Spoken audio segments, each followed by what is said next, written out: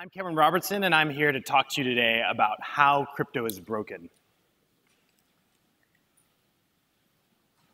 One of the big things that people talk about in terms of adoption of cryptocurrency are things like transaction speed and transaction volume and cost. But we actually believe that's not the core reason why people aren't using crypto broadly today. We believe that using crypto for most people is dangerous. If you look at a lot of the wallet apps out there, all of them warn users about their private keys. You set up a new wallet, store your private keys safely. If you lose them, you lose your money. Now, for technical folks, that might be okay, but for most people, that's simply terrifying.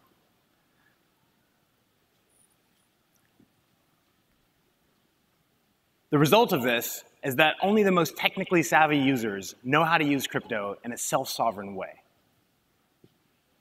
Exchanges are the default for the rest of us. People go to exchanges to buy crypto, and we all understand the risks that are associated with that. Hundreds or tens of billions of dollars that have been lost on crypto exchanges over the past seven to eight years. So, how has this shaped crypto and what we actually do with crypto today? Well, the simplest example is people don't use crypto to buy real things.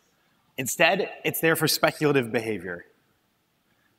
Along with that, crypto has this obsession with TPS. We need to focus on transactions per, section, per, per second to get more users. A sort of if you build it, they will come mentality. But our thought is we're getting close to the chasm of crypto. And in order to cross that chasm safely, if we want people to use their crypto on their own and hold it on their own, we need a new solution. So we asked the question what if crypto was more like cash? Cash has a lot of benefits to it. Billions of people understand how to use cash. Transactions are instantly final, they're largely anonymous, and if you destroy it or lose it, you're gone. It's gone. So if you burn your, your crypto, if you burn your cash, you no longer can spend it. Along with that, cash is still massively used. So a lot of folks talk about the move to credit cards or spending things digitally, but in most societies, cash is still used for transactions under $25. In order to think about if we want to make crypto more like cash, we have to understand what cash is and what it represents. It's something distinct from money. Cash is a transferable IOU.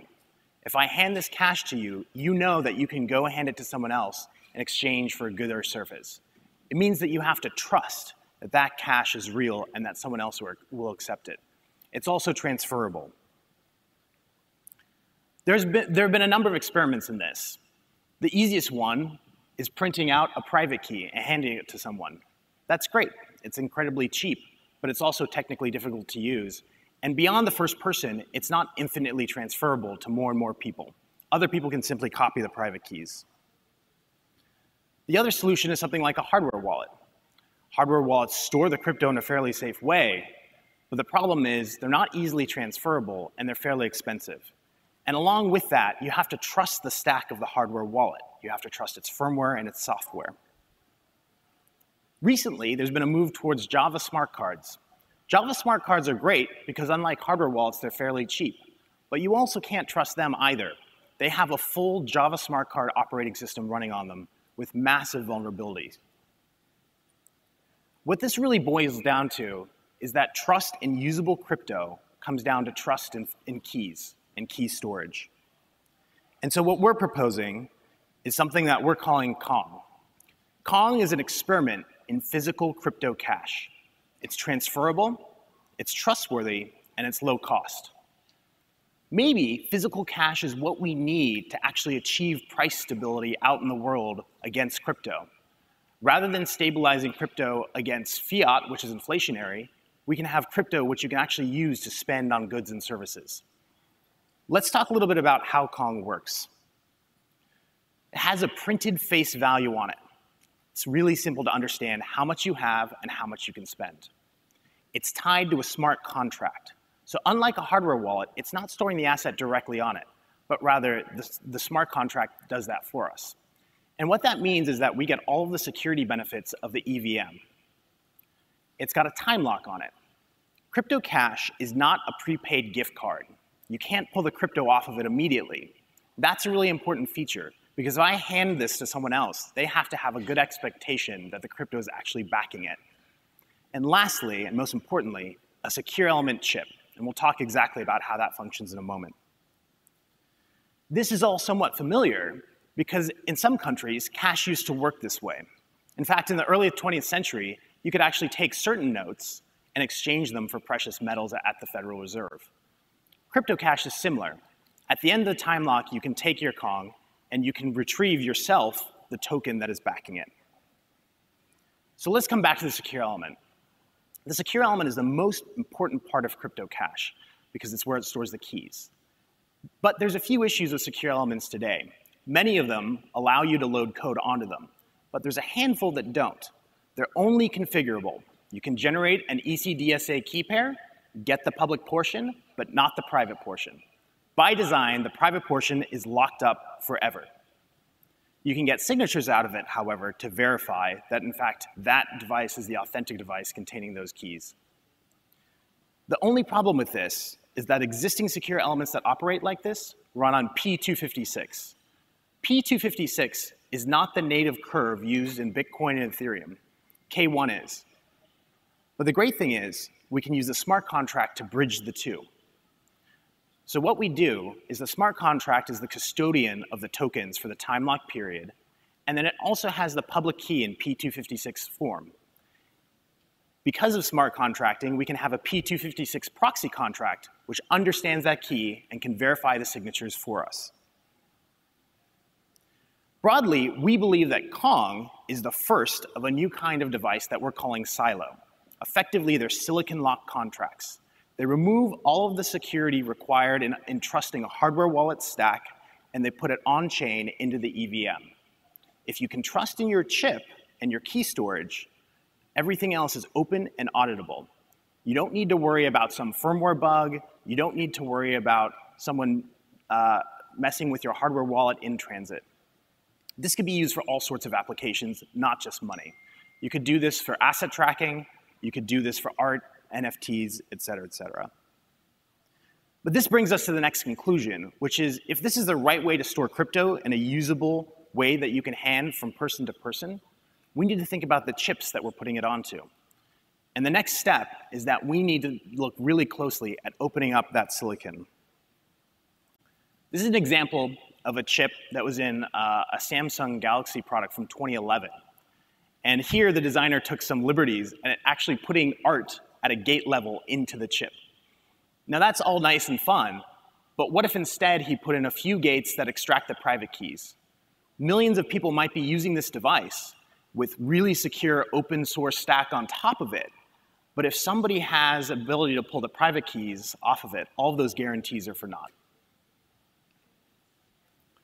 We're proposing a new project which we're calling ARCs. And I don't have enough time today to go super into detail on ARCs, but effectively the notion is this. We need to think about uh, trustworthiness in our chips, and we need to put bounties behind them. So think about it this way. If you have a chip out in the wild and it says it can only store private keys on it, then that's what it should do. And if someone can extract the private key, then the bounty is yielded. We could use this model for much higher things in the stack as well, but if we can do it on silicon chips, we can create incentives for people to start breaking them and saying, if I can make money from this, then that's useful. Securing crypto is only the first step, though. One of the big pieces of this is that keys underpin everything. So when you log into Google or Facebook or even a decentralized service like using PGP or Signal or Tox, all of these things are reliant on key storage. And so if we can have better key storage, we can change the dynamic so that when you go and set up a user who's not technically savvy, they can have key storage which is tangible and understandable and way less risky than a private key that could be extracted or pulled off. There's something really interesting that's happened since 2009. In 2009, we had this breakdown in trust in the financial system, which arguably is one of the big reasons why Bitcoin took off. In the 10 years since then, however, we've had this rise of all of these online apps and online services in the Web 2.0 era. But what we're finally seeing in 2019 is people are realizing that maybe that wasn't such a great idea. Maybe trusting Google, maybe trusting Facebook with all of this data wasn't, wasn't uh, what we needed. And Snowden revealed that, that even if we use things like HTTPS, when the government inserts themselves in, in between servers, uh, we can't trust that our data is not being spied on.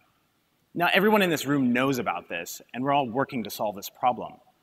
But if people can't store their keys in a way that's understandable, then how, uh, how are they not just going to go again and delegate it to a third party in the same way that they're using exchanges?